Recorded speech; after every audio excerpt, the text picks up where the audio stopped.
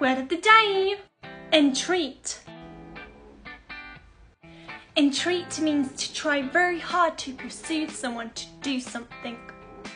For example, Dear, might I entreat you to put Mr. Weston's heart at ease? fully to learning words.